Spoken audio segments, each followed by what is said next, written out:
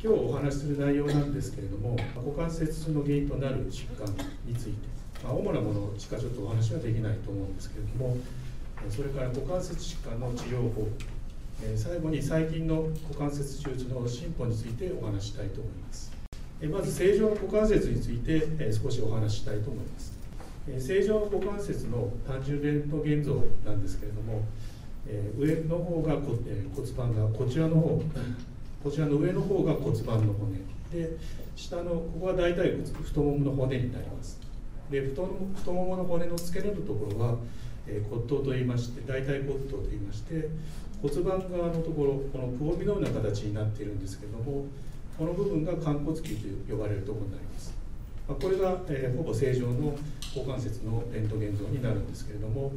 えー、これを見ていただくと、えー、大腿骨頭という部分は丸い形。で寛骨球という屋根のような部分っていうのが大腿骨頭の、まあ、約80%まで覆われているというのが正常であると言われている。で正常の股関節を 3DCT 像これは3次元画像で見たものですけれども左が前から見たもの。で横から見たもの。下が右下が後ろ側から見たものになりますけれどもこれで見てもこの大腿骨頭というのが骨盤の寛骨球のこのくぼみにはまり込んでいるということがよくわかると思います。で股関節の、まあ、もう一つの大きな特徴としては、えーえー、股関節の関節周囲にはかなりたくさんのしかも日本、えー、人間の中で特に大きな筋肉があるということが大きな特徴になっています。え左側の半分ですねこれが前面から股関節大体太ももを見たものとなりますけれどもまあ、ここにちょっと見にくいですが股関節があってここに骨があるんですけれども、えー、前面から見ると、えー、大腿四頭筋と呼ばれる大きな筋肉、まあ、ここに4つ大きな筋肉があるんですけれども、まあ、こういう筋肉があってこれを全部避けていかないと関節のところが操作できないという困難さがあります。また後方から見ると右の方になるんですけれども後ろ側から見るとここに股関節があるんですけれどもここに中殿筋大殿筋という、まあ、殿筋お尻の筋肉ですねこれは歩く時に非常に重要な筋肉になるんですけれどもこういう大きな筋肉が股関節周囲を覆っているため特にこの後ろ側から股関節に何か操作をしようとする時にはどうしてもこの殿筋と呼ばれる大きな筋肉を一部切って操作しないといけないという問題が起こります。では、股関節痛の原因となる疾患についてこれからお話ししたいと思います。まあ、今日お話しした、えー、させてもらうものとしては、寛骨球形成不全、それから変形性股関節腫、えー、そして大腿骨頭壊死についてお話ししたいと思います。えー、まず寛骨寛骨球形成不全について、えー、お話ししたいと思います。えー、これは、えー、比較的若年の女性に多く妊娠を契機に発見されることが多いものです。まあ、ですから30代40代で股関節が、えー、痛くなって初めて分かるという方が特に多いです。で原因としては骨格の発育過程で寛骨球の形成不全が生じていることが考えられます、まあ、実際の画像を見てもらうと、えー、これが左側が正常の股関節のこの、えー、レントゲン像ですけれども寛骨球形成不全というのは先ほどの寛骨球上の骨盤側ですねここの屋根の部分がかなり浅い。でこの大腿骨頭に対するこの寛骨球の部分が70%未満になると寛骨球形成不全と診断されています。でこの右の写真で見ますと大腿骨頭の半分ぐらいしか覆われていない状態。ただこの方はまだここの関節の隙間が空いていまして実際にはここに関節の軟骨があるんですけれども軟骨が残っていてあまり症状は強く出ていない状態です。で一番の問題点、まあ、違いとしては、えー、関節の荷重面の違いというのが挙げられます、まあ、ここに黄色く示したんですけれども、えー、この骨盤の寛骨球の部分の水平になっている部分と大腿骨とで関節の荷重を、えー、受けることになるんですけれども正常のものと比べると寛骨球形成不全の場合に関節荷重面がすごく狭くなっているっていうのが分かります。でこれは、えー、レントゲンで二次元像でしか見ていないんで、まあ、この違いというふうにしか考えられないんですけど3次元像的に見ると相当の差になってしまいます。で実際のかかる圧力がどうかっていうことになるんですけども、まあ、分かりやすく言うと、まあ、このようなスニーカーを履いた靴で歩くものとピンヒールでこのヒールのところで圧がかかるようなそれからの違いが出てくることになります。でもう一つ、え、問題点としては、えー、これは、えー、股関節の断面図を、えー、示したものですけれども、えー、左側の方ですねこちらの方で、えー、これも、えー、寛骨臼形成不全のモデルなんですけれども、まあ、このように大腿骨頭がここにありましてで、えー、関節というのは実際にはこういうピンクで見えるところ関節包という賃帯で囲まれていて、えー、ぐらぐらしないようになっているんですけれどもどうしてもこの寛骨臼の、えー、作りが浅いのでこの大腿骨頭がこう不安定になってしまって少しずつあの小さい動きで、えー、関節の中の障害が生じてしまいます。でその原因としてはここの青いの水色に見えるものが、えー、関節軟骨なんですけれどもこの、えー、外側のところに、えー、関節芯と呼ばれるクッションの役割をするような部分があることが分かっておりましてえこの 不安定性の増加によってこの関節芯が損傷して、まあ、右図のようにここが傷んでこれが原因でさらに不安定性が増して関節の軟骨が変性していくということが分かっています。で肝骨球形成不全なんですけれども、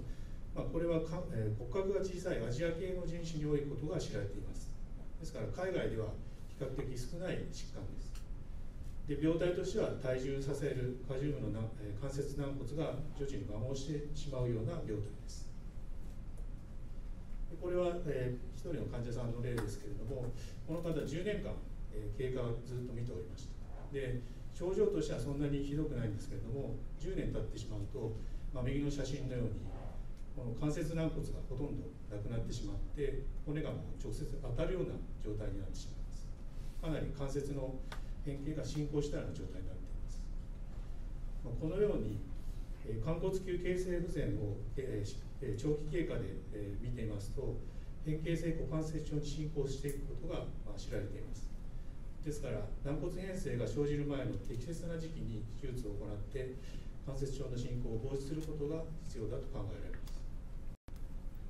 実際に行う手術としては寛骨臼移動術というのを行っています。え、どういう手術かというと、えー、自家骨自分の骨と軟骨ですね、これによって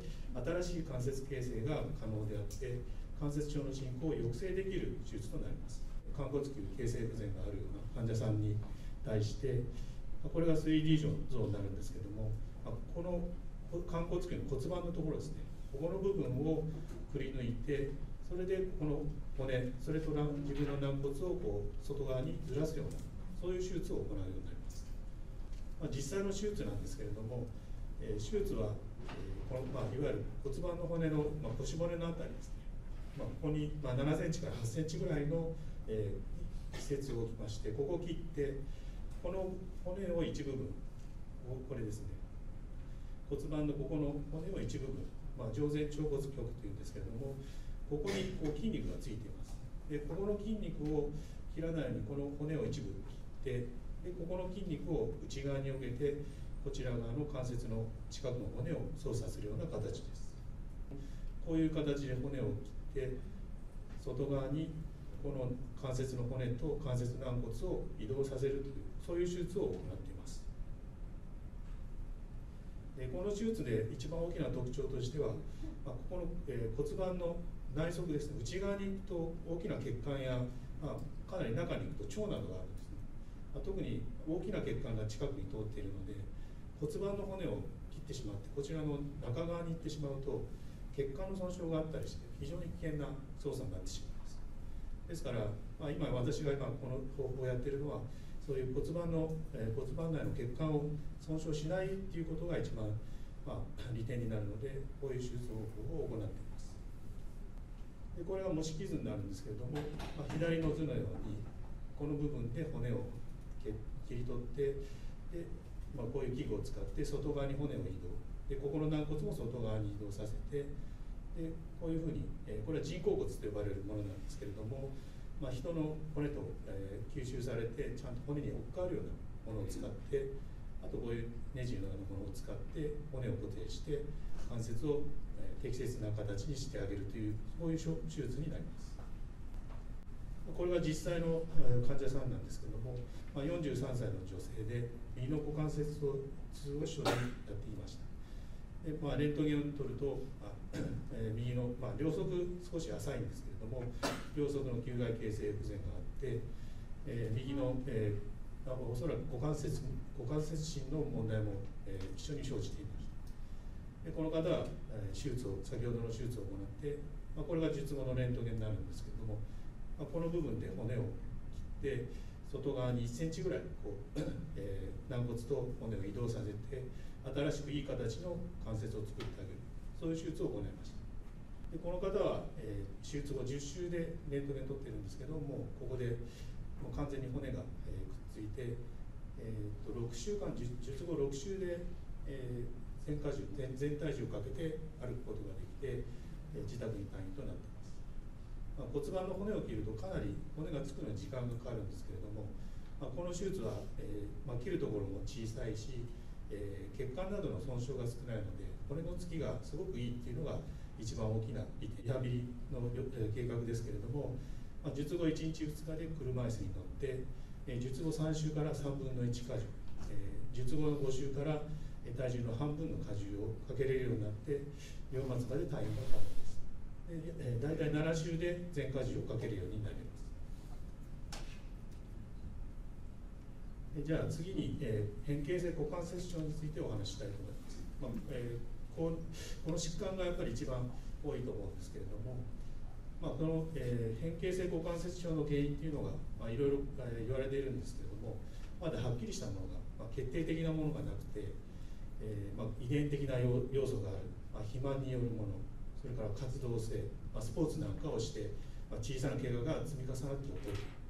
また加齢で起こる、まあ、いろんなことが言われていますけれども、まあ、あのこれといった決定的なものがあります。でそれそのために、え、変形性股関節症、まあ膝もそうなんですけれども変形性関節症の、えー、治療の治療のための薬とかっていうのがいまだにできないっていうのが現実です、まあ、実際の、え、症状としてはまあえー、体重がかかる関節なので体重がかかると股関節足の付け根に痛みが出てしまう。で、えー、変形が進行してしまうと、えー、軟骨がなくなって動きが悪くなってであと筋肉や、えー、靭帯なども硬くなるのでさらに動きが悪くなるっていう悪循環があります。また骨が潰れたりするような変化が出ることがありますので足の長さが短くなるっていうことも出てきます。実際の レントゲンでお見せしますけれどもこれが初期変形性関節症の初期の、え状態。この方は寛骨球の形成不全があるんですけれども、まあ、まだここに軟骨が残っている状態。で、まあ、少し痛むんですけれどもそんなに日常生活には支障がないような状態です。でこれが進行していきますと、まあ、このように軟骨が少しずつ減っていってであのこの方はこう骨盤の寛骨球の横にこう骨直という骨ができてきて少しこうなると安定するような形になるんですけれどもまあ、それでも軟骨がなくなってくるので負担が多くなったりするとどうしても痛くなることは生じてきます、まあ、ここの段階で関節裂撃の表彰化そして骨格形成などが起こってきます。で進行期になりますと、まあ、さらに、えー、関節軟骨が減っていって、まあ、実際にはここで、えー、体重がかかって歩く時に骨同士が当たるような状態ですね、まあ、それで少しずつ骨が傷んできます。で右の末期の股関節症になりますと、まあ、ちょっと見にくいんですけどここの本来丸かった骨が大腿骨頭が少しずつこう削れて潰れていくような状態。でさらに骨盤側の寛骨球のところも軟骨がなくなって、えー、いろんな変化が出てきます、まあ、骨硬化像が出るとかこの黒く抜けて見えるのは本来の骨が脂肪のようなものに置き換わって骨嚢胞というものができたりします。で、えー、だんだんとこう大腿骨との悪化も生じてくるような状態となってしまいます。で最終的に関節の機能が低下してしまって歩行時痛が増強し歩行困難になってしまうという状態です。これはレントゲンでは診断がつかない症例の一例なんですけれどもこの方は65歳の男性で右の交関節痛があって5年間ずっと近くの整形外科で見てもらっていた方です。で、えー、レントゲン像ではあの、まあ、球外形成不全少しあるんですけれども関節軟骨は、5年前と比べてもあまり変わっていない状態ただこの23か月でかなり口実が、増強したということで私のところに紹介になりましたでレントゲンでは確かに全然変化がないんですけれどもやっぱりかなり痛むことが多いということなんで、まあ、MRI を取りました、まあ、そうすると MRI の、まあ、左の股関節の像ですね。ここを見てもらうと、まあ、この条件で見ると骨が黒く見えて、えー、この白く見えるのは関節の中の関節液ですね。こう水が少しあるんですけれどもこれが正常なんですけども右を見ていただくとこう黒く見えるはずの骨の特にこの体重かかる部分ですね。ここに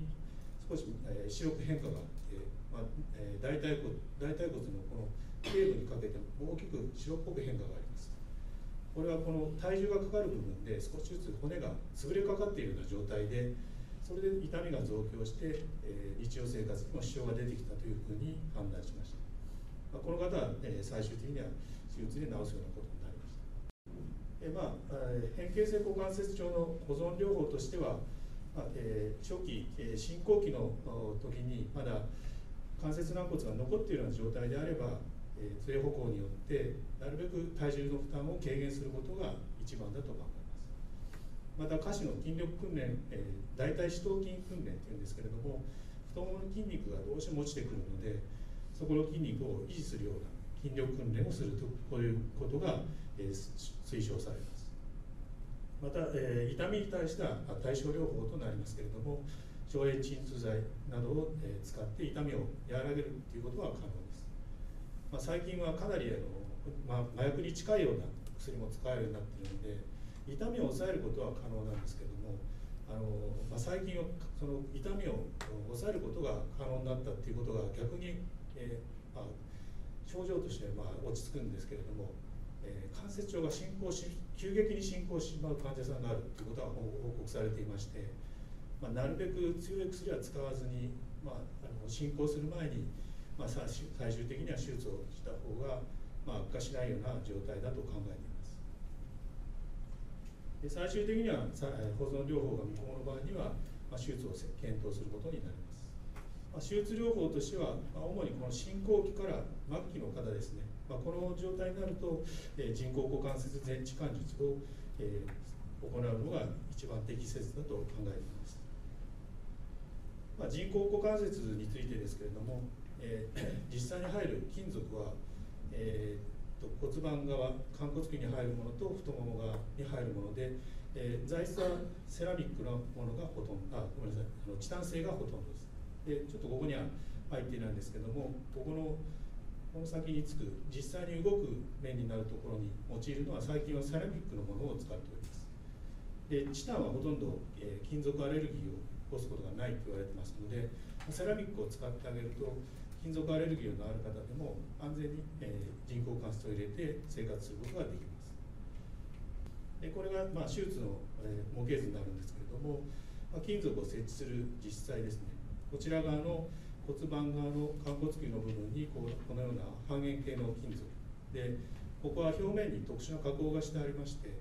え、人間の骨と接触すると2週間から3週間でこの金属の表面に人間の骨が生着すると言われています。ですから簡単にも外れなくなってしまいます。太もも側の大腿骨の方も同じように特殊な加工がされているのがほとんどで、えその部分が人間の骨と接触していると大体3週間ぐらいでも完全に固まってしまいます、まあ、それほどあのこの20年ぐらいで金属の材質と材質がかなり改良されて問題を起こすことがほぼなくなってきています。でここの白く見えるのこれが、えー、ライナーと呼ばれるものなんですけれどもこれは特殊な、えー、ポリエチレンというプラスチックのようなもので、まあ、実際にこの金属が直接当たらないようにする、まあ、クッションのような役割をしています。まあ、大体、まあ、形状少し異なるんですけども、まあ、これに似たようなものを主に使っています。で、えー、人工股関節全置換術なんですけども、まあ、これが、えー、私が手術した患者さんなんですけども、まあ、このように、えーまあ、進行期から末期の、えー、股関節症の状態で、まあ、人工関節を入れるようになります、まあ、骨盤側に先ほどの半円形の金属。でこの丸く見えるのが、えー、動き面になるところでで太ももがこういうそれぞれの患者さんの骨の太さに合わせた金属を差し込むような形になります。で人工股関節前置関節で、まあ、一番大きく、まあ、変わる改善点としては痛みがほぼなくなるということ、まあ、これは本当に、えー、一番大きく変わることだと考えています、まあ、あと動きが悪い方はリハビリ次第にはなりますけれどもある程度可動域の改善が見込める、まあ、この2点が大きな、えー、手術の利点となると考えています。人工股関節後のリハビリプロトコールですけれども、えー先ほどの骨切り術に比べるともうかなりあの早期から体重をかけることが可能となりますので手術の翌日から車椅子移動。で、えー、可能であれば平行棒でつかまれ立ちをする方もいます。で、えー、ベッドサイドでの筋力関,、え、関節可動域訓練を、え、開始して可及的に全荷重歩行を強化していますで、え、大体、えー、通常で、まあ、スムーズにいく方ですと大体1週間で、えー、杖での、短い杖での歩行が可能になって、まあ、約2週間で、えー、階段練習ができるようになれば自宅の退院ができるようになっています、えーまあ、人工股関節で手術による、まあ、大きなメリットもあるんですけども、まあ、逆に失う面も、まあ、いくつかあります、まあ、あの頻度としては多くはないんですけれどもで人工股関節の場合に一番大きな合併症問題点となるものはこの脱臼ということが、えー、考えられます。で、えー、先ほども言ったんですけども、まあ、自分のこの骨に比べると大腿骨頭と比べてこの動く面ですねこの丸いところが、まあ、若干小さくなるだけなんですけれどもここが小さくなると、えー、深く曲げたり、まあ、しゃがんだりとかあと、え、ひねったりするときに、え、この金属の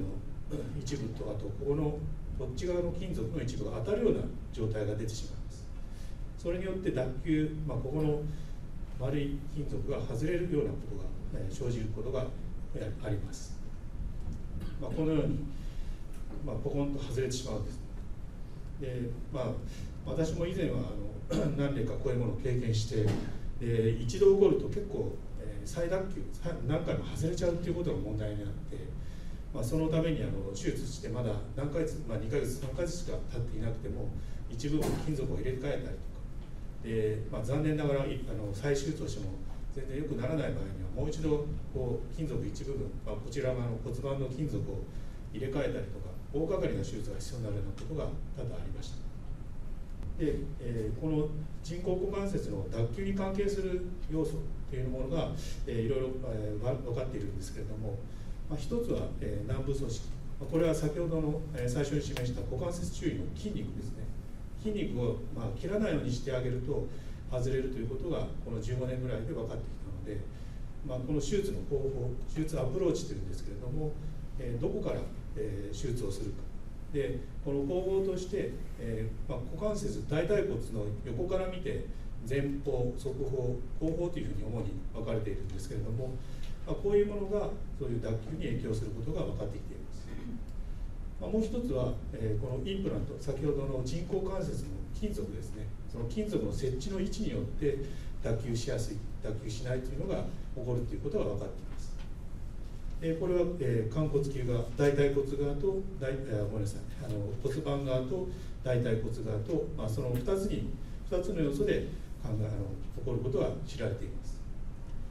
ですからこの2つを、えー、正確に、まあ、いいところで、えー、設置していい方法で手術を行えば脱臼が抑制できるというふうに考えられます。えー、後でまた、えー、脱臼に関してはまあお話ししますけれども、えー、あともう一つ人工関節の、えー、大きな合併症としては金属周囲での緩みというものがあります。まあ、先ほども、えー、お話したようにこの金属の周りは特殊な加工がされていますのでもう3週間ぐらいで、え、人間の骨とがっちりと固まってほぼ簡単に外れることはなくなります。ただ、え、20年ぐらいすると、え、金属の強度は変わらないんですけれども人間の骨特に女性の場合ですねあのいわゆる骨粗しょう症で骨がどうしても弱くなってしまいます。そうするとあの股関節は体重を支えるような関節なんであの骨盤側が特に多いんですけどこの骨盤側の金属がこう上にずれていくとかこっちの骨盤の中ですね。そこにずれていくような金属の緩みが生じることが知られています。で、えー、これは、えーと、人工骨頭であの左側のこちら側です、えー、他の病院で手術をされた患者さんで、まあ、1996年に左の人工骨頭置換術を行って、えー、痛みが出てきたということで私のところに紹介された患者さんです。であの右と比べていただくとあのここの骨盤のこの骨ですね本来ここに骨があったはずなんですけども、えー、左側はこの骨がこう内側にずっと移動しているような状態。でこううっすらとこう一層だけ骨が残っているんですけども多分ここの骨が骨折しかかっているような状態で体重をかけるとすごく強い痛みがあるということで歩けないっていうような状態になっていました、まあ、こういうこの方はちょうど20年ぐらい経過してるんですけども、まあ、どうしても日常生活に支障があるので、まあ、この方の場合にはあの 同意骨という、まあ、人間のあの他の人の骨なんかを使うことができますのでそういうものを使ってちょっと分かりにくいんですけどここに人工骨を入れてこういう白く見える金属ちょっと大掛かりな金属を使って、え、骨盤側の再建を行っています、まあ、これで、えー、しっかり骨が定着して、まあ、1ヶ月半ぐらいかかりましたけれども歩けるようになって、えー、お家に帰りましたえもう一つ、え最後に大腿骨頭液症についてお話したいと思います。まあ、大腿骨頭液症というのは、え、この右のレントゲンなんですけれどもこの大腿骨大腿骨頭の部分が、まあ、何らかの原因で血流が、え、悪くなったりして骨が壊死する状態。あのよく腐るというふうに言われてしまうんですけども実は血流が悪くなって骨が少し弱くなってしまって骨が潰れるような状態を指しています。で一番の原因としてはあのステロイドにステロイド剤ですね。あの治療のためにえ関節リウマチ SLE、え皮膚筋炎などの膠原病などの治療に使うステロイド特に大量投与した患者さんでこういうものが起きやすいと言われています。またそれ以外でも、えー、脳疾患や血液疾患などそれで、えー、ステロイドをたくさん使った方そういうものそういう方で起こることが知られています。あともうもう一つはアルコール、えーまあ、アルコール退院の退院が原因として考えられています。で中には、え原因が全く何もないあの特発性というんですけども、まあ、そういう方もありまして、まあまあ、レントゲンでレントゲンで検査をしたらそういうふうなものが見つかることが、まあ、にあります。でレントゲンの特徴としては骨硬化と骨頭梁像の混在ということがあります。まあ、これは骨が少しずつ潰れていくんですけれども、まあ、あの骨折と同じで、まあ、小さい骨折を起こして骨が少しずつ壊れてでそこが一部分修復されて硬くなってでまた他の部分が壊れてというそういうものが繰り返しでその修復が間に合わないとこういうこのような形で骨がだんだんと壊れてきてしまいます。でこの患者さんは、えもう左の、え股関節ですけども大腿骨頭が半分ぐらいの形になってしまいまして関節の変形が著名になって、まあ、歩行ができないような状態になりますので、まあ、この方も、ま、同様に、え、人工股関節変置関節を行いますで早期診断には先ほどもありますように、え、MRI が有効になりますこの方は左の股関節ですね。ここの痛みでレントゲンではほとんど変化がないんですけれども MRI を取るとこのようにはっきりと変化が出てきます。で大腿骨頭壊死の患者さんの MRI の特徴はこの荷重部ですね。大腿骨頭の体重がかかる荷重部のところに変化が出てこういう帯状の線が見える。それがこれが一番典型的な大腿骨頭壊死の画像だと言われています。で治療としては、まあ、人工関節を行って、まあ、この方は、えー、痛みなく、えー、通常歩行ができるようになっています、えー、じゃあ最後になりますけれども、まあ、最近の股関節手術の進歩についてお話ししたいと思います。まあ、先ほどからあの、まあえー、人工関節の問題点、まあ、脱臼、緩みなどがあるというふうに言ったんですけれども、まあ、だんだんとそういうものも、えー、解消されるようになっていっています。で外科手術の、え、一番、まあ、この10年ぐらいの大きな特徴としては、えー、低侵襲手術ですね。あのここで出しているのは、えー、外科、お腹の、えー、腹部外科などで使われる、え、内視鏡のこのカメラ。内視鏡的なカメラであとちょっと見にくいんですけどもこういう機材を使って2センチぐらいの傷でお腹の中の、えー、腸や胃などを、えー、カメラを見ながら、えー、繊細な操作で治療できるということが可能になってきました。股関節外科において低侵襲手術っていうのは、まあ、あの今できるものとしては股関節鏡手術。これもこのような、え、内視鏡を使って関節の中を操作する。そういうことができるようにはなってきています。ただどうしても、え、先ほども最初示したんですけども、まあ、股関節周囲は筋肉がたくさんあるのでこういうものをやるときに筋肉をどうしても、一部切ったりとか、まあ、筋肉があるために大きな操作がどうしてもできなくなっているというのが現状です。まあ、もう一度、えー、お出ししますけれども、まあ、前の方から見ても、まあ、後ろの方から見ても、えー、たくさん大きな筋肉があるということが股関節の、えー、治療の大きな妨げとなっております。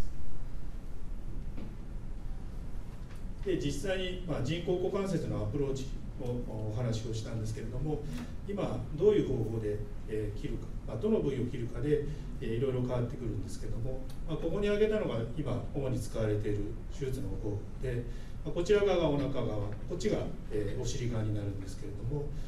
ま、股関節あのちょっと見にくいですけど股関節がここの辺にあります。でここに大腿骨が太ももの骨があるんですけれどもこの大腿骨を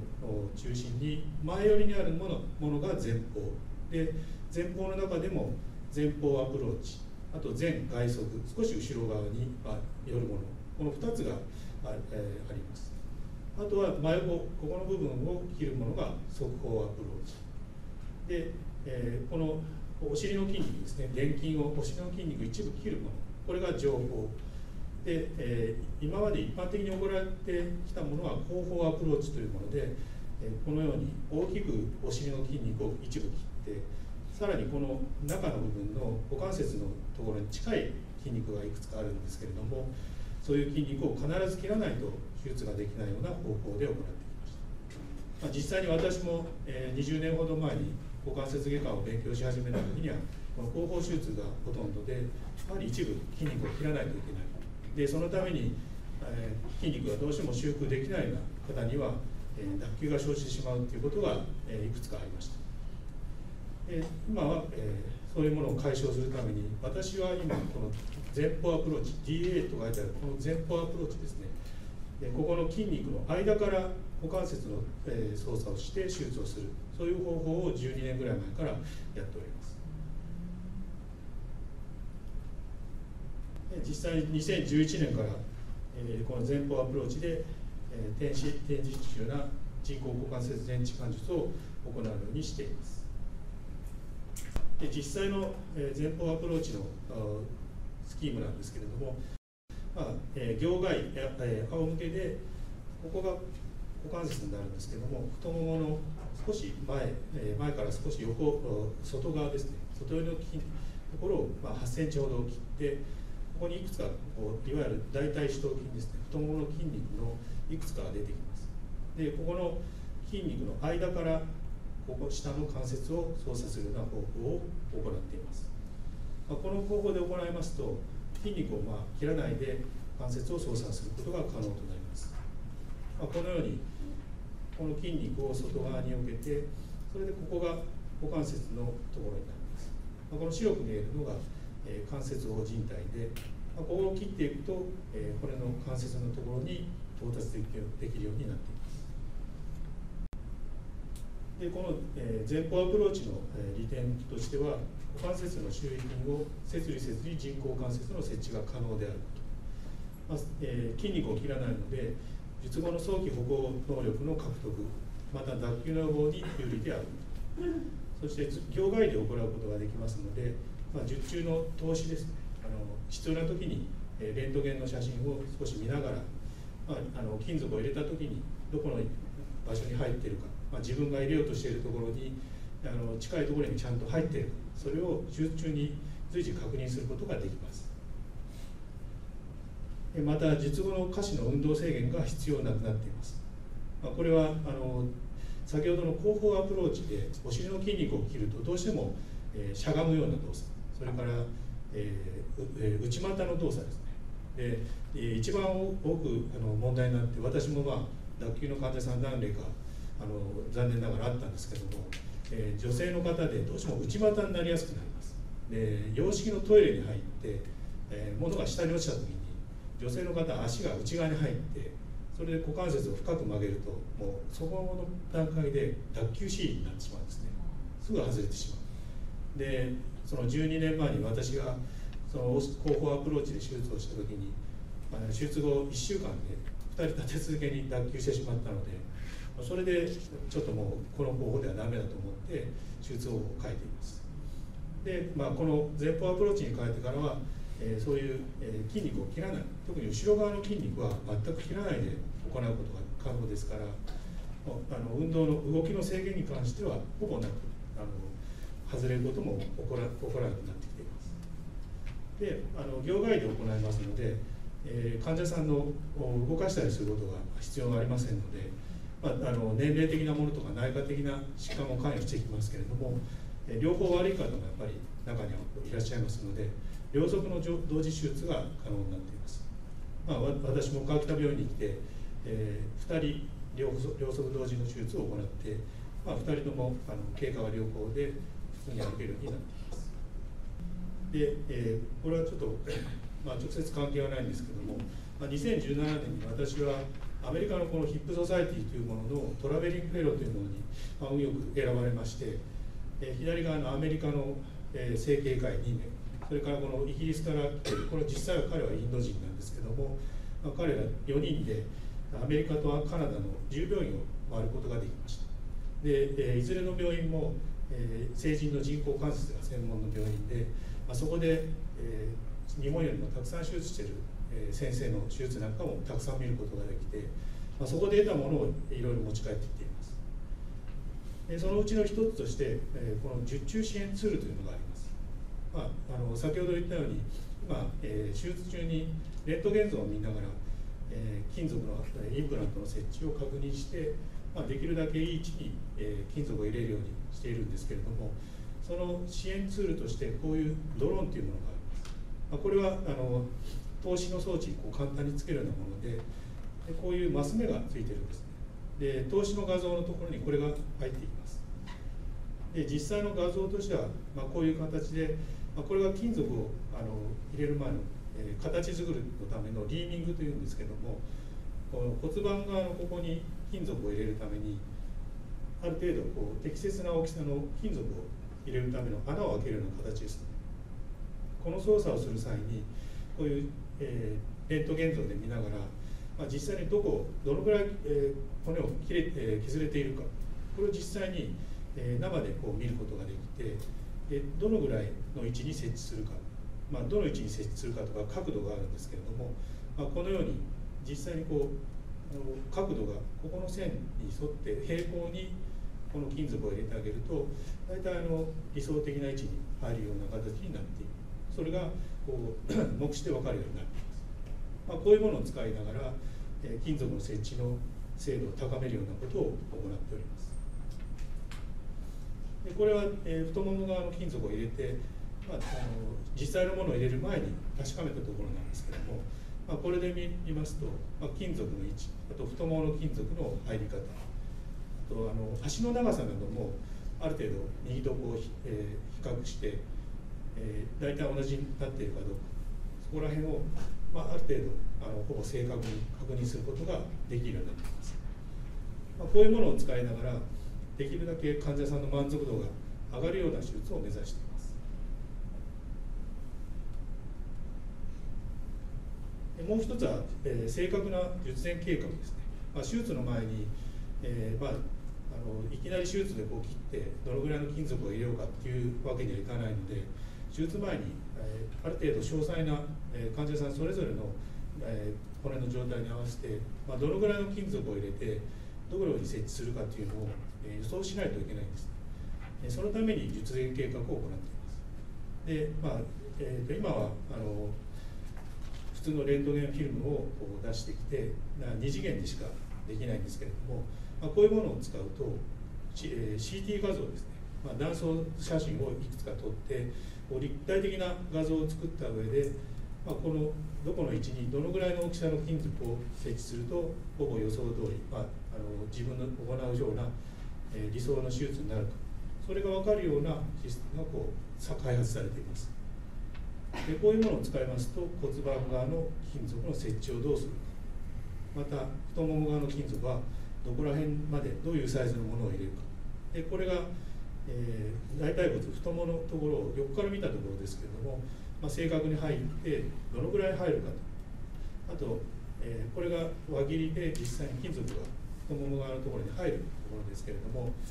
まあえー、理想的な位置に入っているかどうか。で最終的に骨盤側と、え、太もも側の金属を入れた時にどのような形になるか。それを、え、詳細に、まあ、予想することが可能となる、まあ、こういうものを使うことによって、まあ、この形にするとちょっとこう右側の細々としてあの文字が見えないんですけれども、えー、骨盤側の金属がどのぐらいのところに何度のところに入ってで、えー、実際にこれ動かしていくとえー、骨同士が当たったりするような、え、先ほどの脱臼の原因になるようなものがどのぐらい足を曲げると起こるかどのぐらい足をひねるとそういう問題が生じる可能性があるかそこまである程度詳細に見ることが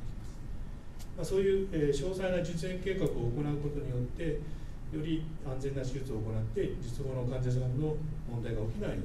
そういうことをできるようになっておりますで今その 手術中の支援ツールと術前計画を一緒に用いることでより正確なインプラントの設置が可能となっているという状態です。えー、最後になりますけれども、えー、成人股関節疾患に対する低侵襲手術により合併症の軽減早期回復が可能となっています、まあ、今後さらに、えーえー、いろんなものを入れたりして、えー、患者さんの満足度を上げたり、えー、合併症がなくなるような手術を行うように心がけています。で、えー、川北総合病院を受診の患者さんがおりましたら、えー、股関節疾患の受診希望の患者さんは私の外来は水曜日と金曜日の午前中。あと土曜日は第2と第4午前中に外来をやっております。であのかかっているところがクリニックとかがありましたら紹介状を持参していただければ、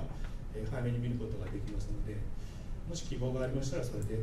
えー、紹介状を持参して、えー受診予約を取るようにお願いします。最後になりますけれども、え2025年6月に川北病院は今すぐ隣の建築中のところがあるんですけれどもそこに新病院を建てることが決ま決まりました、まあ、9階建てで新しい病院になりますのでまだ先ではありますけれども、まあ、ぜひあの綺麗な病院になっても皆さんにお越しいただきたいと考えています。今日はどうもありがとうございました。